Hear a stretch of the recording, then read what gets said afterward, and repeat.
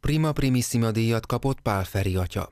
A művészetek palotájában 11. alkalommal adták át a rangos elismerést december 6-án pénteken este a magyar szellemi élet, művészet, kultúra, tudomány és sport kiemelkedő képviselőinek.